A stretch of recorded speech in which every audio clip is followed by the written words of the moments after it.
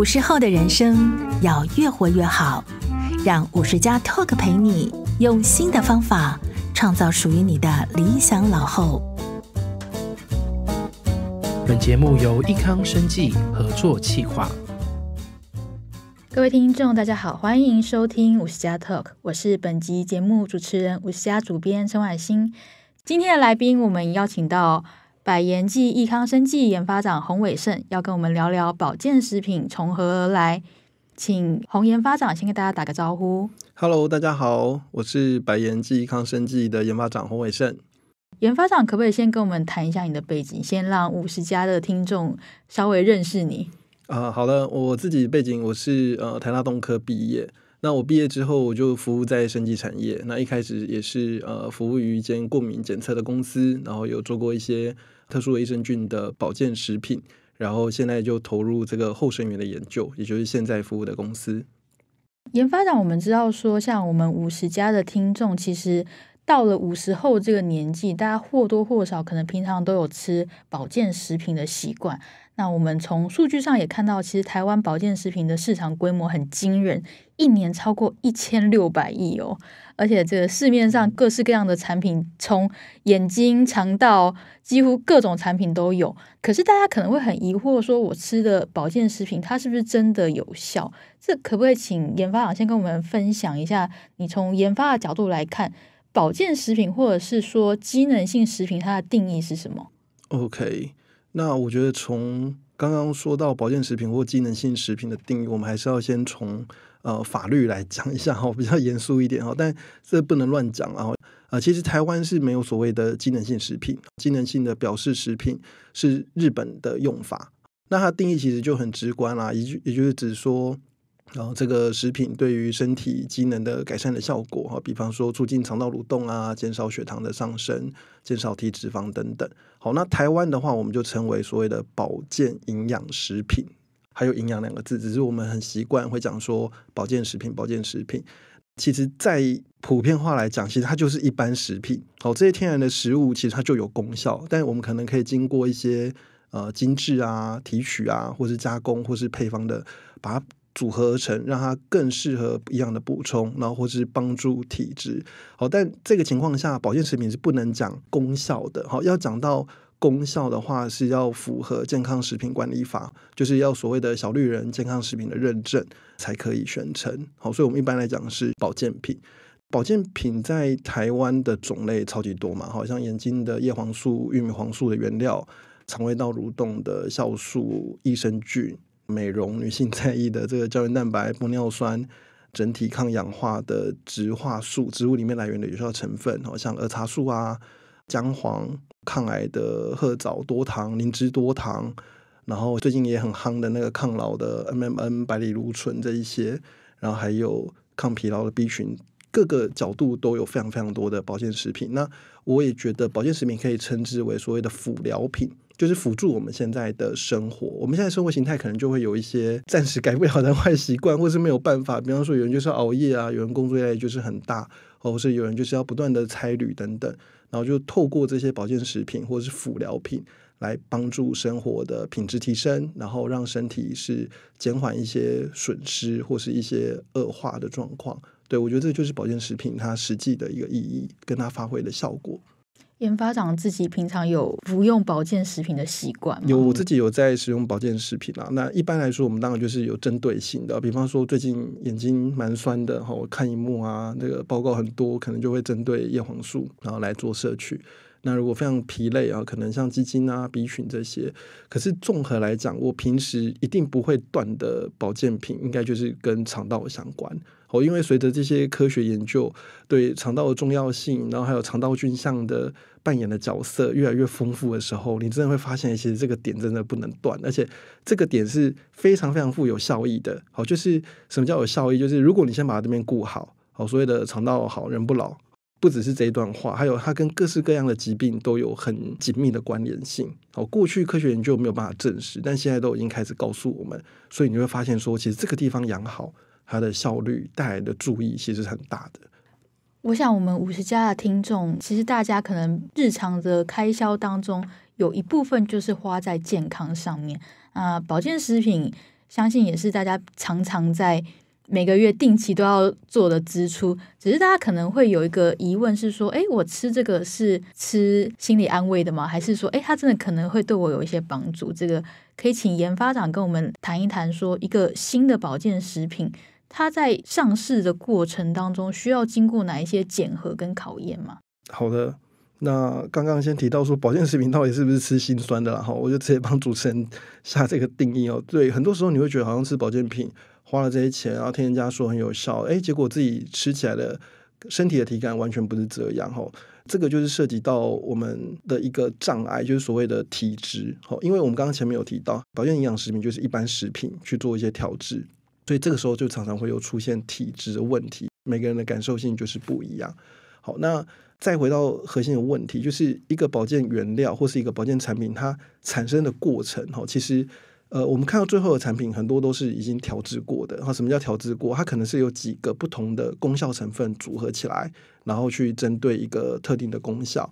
好，所以我们核核心还是要回到原料这一头。好，那一个原料的一个养成跟一个原料的一个问世，它最核心的点，第一个重点当然就是。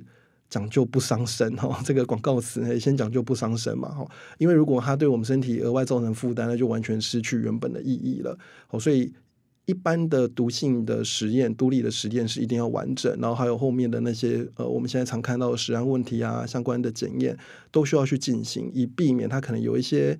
像不好的残留，比如说污染菌，或是重金属，或者是塑化剂等等，哈，这些就是历年来层出不穷的食安问题，都要先把它确认好。好，这是一开始先讲究的点。那保健品，所以它一定要有所谓的功效嘛，好，不然人家都会觉得，哎，这个钱到底要不要继续花？哈，吃心酸的，或者会不会造成一些身体的负担？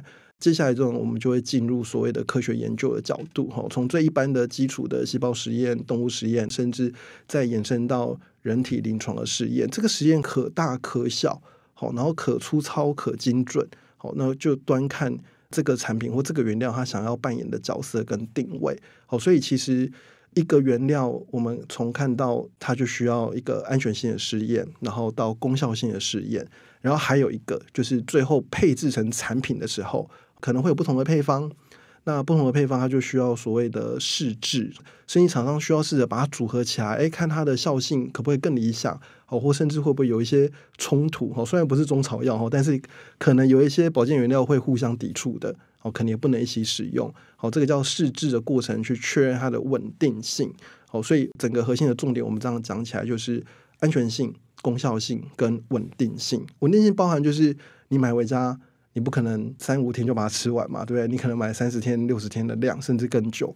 好，那产品从制成出来到仓库到物流到我们消费者手上的时候，它是不是可以维持一定的稳定性？哦，这个也是非常重要需要考量的。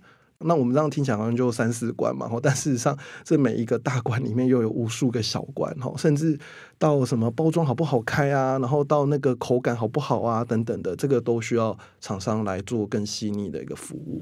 嗯，尤其说，其实台湾这个保健食品的法规也算还蛮严格的嘛。嗯，健康食品的法规是很严谨的，尤其是在呃宣称广告啊这边都要非常注意，避免就触法。所以其实说一个新的保健食品，它从可能一开始有这个想法到真的消费者拿到，这其实当中要经过很多不同的考验啊。所以如果哪一关出错或者是没办法成功的话，它就没办法问世了。对，呃，原则上就是有纪律跟有良心 道德的企业公司，其实这一段是真的会有更严谨的标准在做把关。最近其实实际问题非常多，所以我们也看到了，就有一些事情大家已经做的很尽心尽力了，诶，但他就是还是有一个不小心，可能就不知道在哪个环节出错。好，所以保健食品这种毕竟要吃下肚，然后讲究一些功效性的产品，它就更需要每个环节的谨慎。然后去做监控把关。接下来，我想请研发长谈一谈，因为刚刚讲到说保健食品它要问世，其实不是很容易。我知道说，就是像你们有一个叫做共生发酵益，这个跟肠道微环境相关的产品，这可以跟我们谈一下吗？这个什么是所谓的共生发酵益？好的，共生发酵益精准来讲，应该算是我们的一个特殊的专利原料。所谓的共生发酵，这个是简称呐。好，其实它是严格来讲，应该是益生菌跟特定培养基谷物或植物，然后一起去做共生发酵产生出来的产物，我们就称为共生发酵液。好，所以你就可以想象，就一群嗷嗷待哺的益生菌，然后我们就给它一个丰富的营养。那这些营养是这些菌喜欢的，那通常就是一些植物或是谷物的配方。然后让它发酵之后产生出来的东西，这些物质其中有一大部分就会是这些植物谷物本来的有益的物质。那另外一个就是这些菌在代谢的过程产生的物质。好，这些综合起来就叫共生发酵液。所以它的学理定义有一个名词叫做后生源，后面的后产生的生就是后面产生的。好，它英文叫做 postbiotic。其实大家可能平时都有在接触啦，哈，它定义很广哦，哦，如果以国际益生菌跟益生元协会的定义，哈，后生元是细菌啊，包含益生菌的分泌物，好，或是它的菌体片段，可以提供宿主，哈，就是可以提供人体一些好处、一些生理的益处，就叫做后生元，好，所以你听它的定义很简单，那。我们换一个角度来讲，就是发酵的东西，其实它就算是后生元哦。所以像像醋算不算算啊？好，醋也是有微生物发酵嘛，好，有微生物参与的过程就可以算是然后它的产物。所以我们现在市面上看到一些呃益生菌的产品，它会说，哎，它有后生元哦，它可能就是厂商有处理过，把一些菌体把它给赖死掉，哦，让菌体存在。我们专业角度来讲，我们会讲是死菌啦。哦，可是菌死掉的细菌，还死掉了，它被赖死掉了，它被解体了，这样。可是我们如果对消费者说这是死菌，消费者可能会觉得哦，为什么？好恐怖。对，可是不会哦，就是菌体它赖死掉之后，它可能还是会有它原本的功效，甚至还可以放大它的一个效率。好，所以怕这个消费者不能接受，所以会有个名词叫后生源。好，可是你看我们的发酵液就不是这个角度，我们的发酵液是让菌真的去利用他们喜欢吃的这些。培养基质，好，就是这些谷物、植物，然后产生出来的物质就叫发酵液。好，所以发酵液它的成分内容是非常非常丰富复杂的。好，我们刚刚有提到里面有这些植物、谷物本来的营养素，我们称为植化素。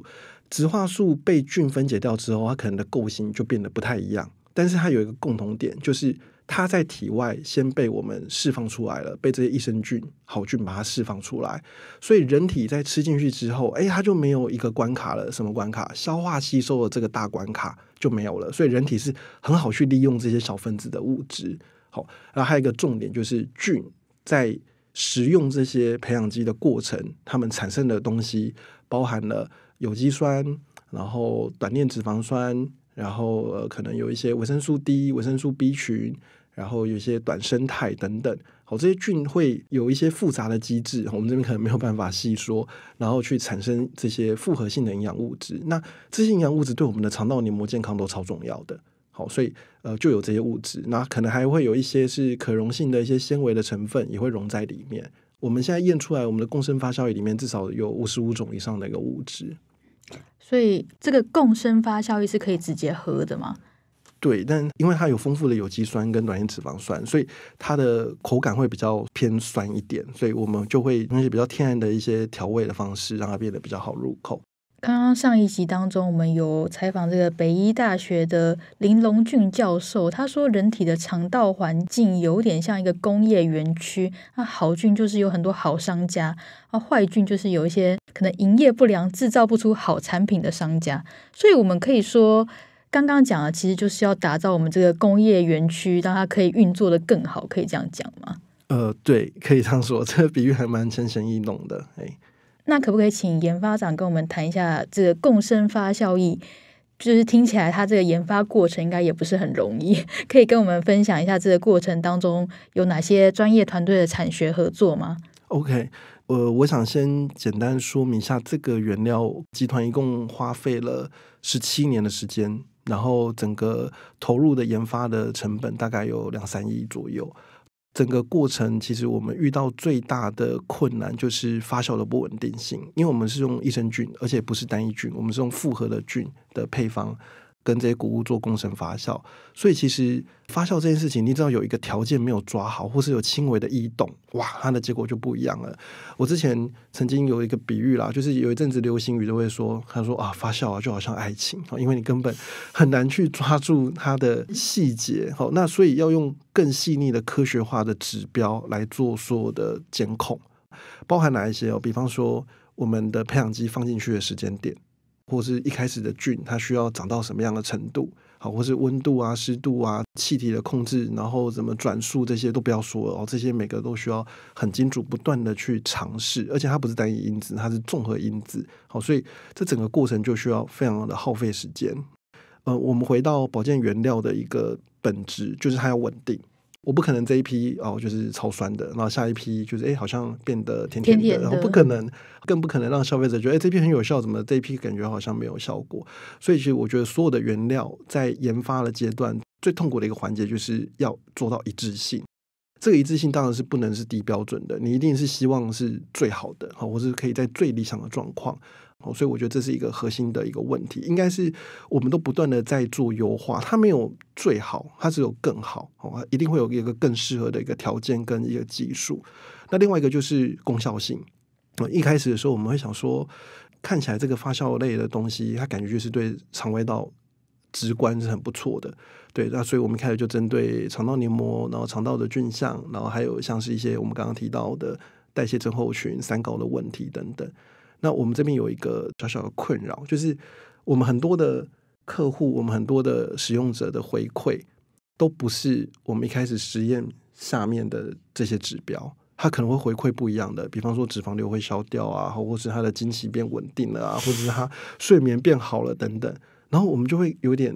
错愕，到底哎，为什么这跟我们的实验结果是不太一致的？对，意外发现是意外发现，对，其实对我们来说不是很快乐哦，因为我们还是希望产品是走在它一开始设定的科学的基础下，对。可是等到我们看到了菌相的整个变化跟菌相带来的改善，我们才发现啊，一切可能都是因为从肠道的环境改善。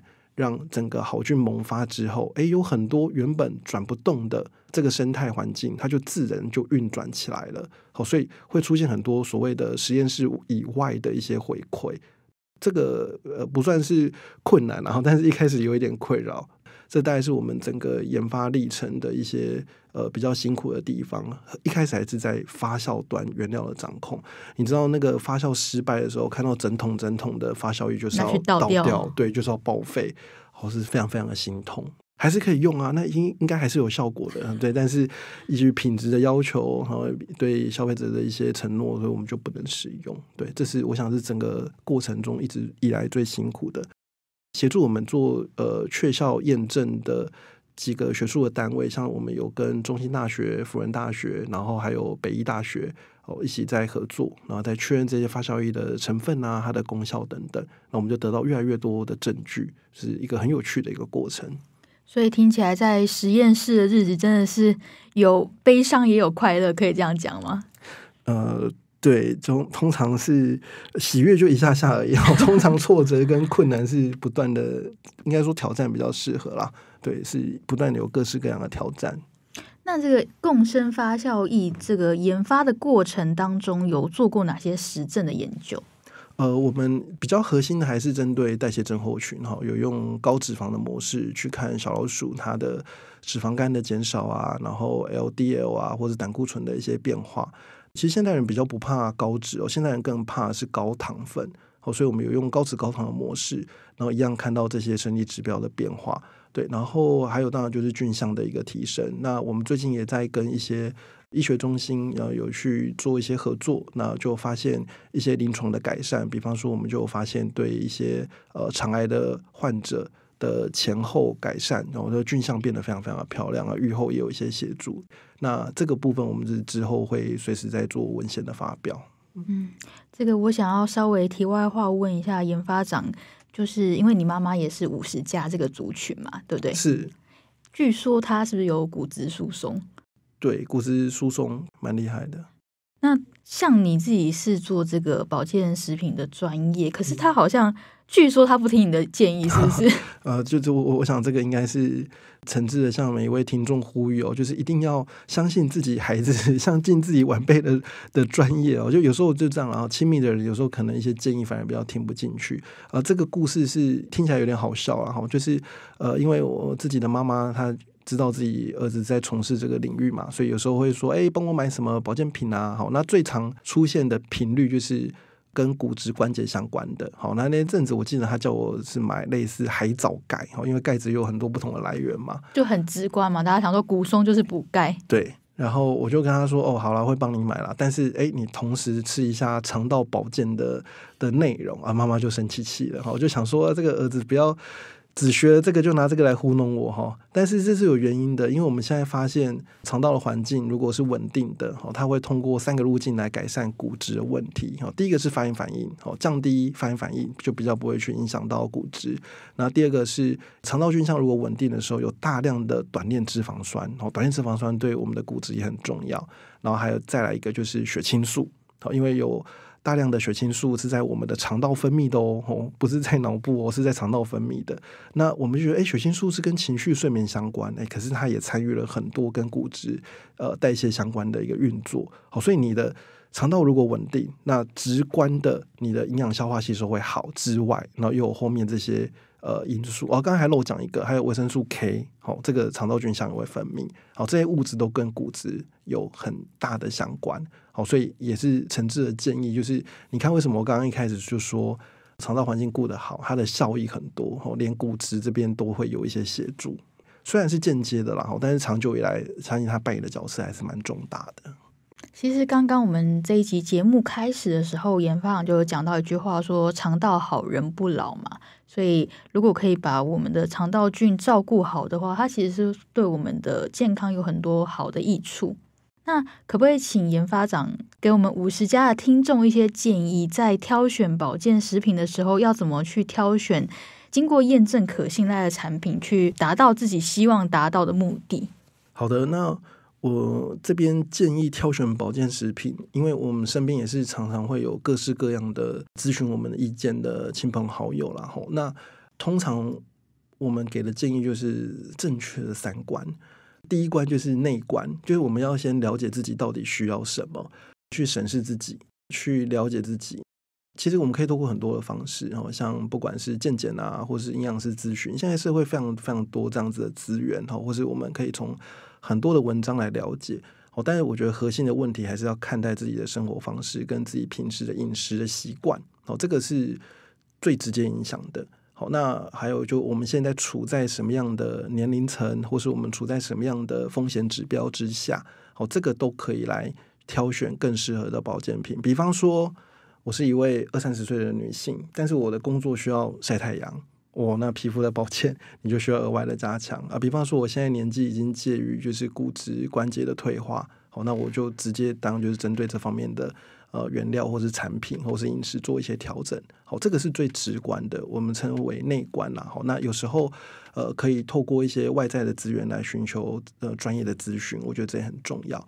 那再就是第二关就是外观嘛，好，有内就有外。好，外观当然就是我们看一个产品，你挑到一个产品。你觉得它跟你有缘分的时候，你就仔细看它的标识。好，那产品标示其实大家都会看嘛。好，除了看效期之外，你就看一下它的添加物的成分，好的顺序是什么。好，顺序很重要哦，因为通常添加越多的，它就会排列在越前面。好，可是只是说有一些保健原料，它因为只要少少的就可以发挥功效。好，所以可以稍微评估一下，如果这个顺序前面全部就是水，然后糖。然后果汁，好这种你就会知道说，哦，原来我喝的大部分是这些调味的内容。好，心里有时候要大概了解一下，有一个底，然后再来看一下制造厂商，好看一下这个工厂，好是不是台湾的工厂还是哪里来的，好，或是看它有没有一些所谓的品质标章，好，这些都可以帮助我们去确认一下，去稍微去提醒自己，哎，这个产品是不是真正有一些把关措施的。然后第三关就是。呃，内观外观完再就是旁观，从旁边来看哈，就是看他有没有一些专利啊，有没有拿到一些呃机构工会的一些认证，好，或是说有没有发表一些学术的期刊，好，或是有没有一些专业的意见的一些建议，哈，虽然有一些可能是广告买来的啦，哈，可是至少如果专业意见他愿意为他背书，诶，可能代表他有一定的程度的呃用心把关，哈，不然我想这些大家这些医疗人员这些。呃，甚至网红这些，大家也都是会爱惜自己的羽毛，好，所以我觉得可以从这些角度来看。然后还有就是有没有使用者跟你分享过？我觉得这一点也蛮重要的。好，就是呃所谓的口碑啦，好，就是看大家吃的状况怎么样。我觉得这也是一个评估的一个指标。好，所以就是建议大家从内观、外观还有旁观这三个观来挑选保健品。好，但是我这边最后还想给一个建议啊，就是我们刚刚提的很多状况都是。针对性的，就是我知道我缺这个，比如说我眼睛酸涩，我就会挑叶黄素。好，比方说我觉得我现在免疫系统不好，很容易感染，我就会吃一些多糖体等等。好，这叫做针对性的。可是现代人有一个很大的问题，就是你其实不知道你缺什么。嗯，你不了解自己。对，我们举个例子哦，就是很多人觉得他疲累，他会吃什么？吃 B 群嘛，好，或是吃鸡精嘛。可是你会发现。很多时候吃 B 群的人他觉得没效，喝激进的也觉得我精神好像没有变得更好，我的注意力好像也没有更集中。为什么？因为他不缺这个，我们的身体、我们的工厂不缺这个。那我想换一个比喻来说明，就是我们的身体就像一座森林，那我们的肠道其实它就是这片森林的土壤。那土壤肥沃啊，就是森林的多样性发展的很好啊，然后小动物、大动物都来啊，这样就很茂密。对吧？它就是一个很健康的一个生态系。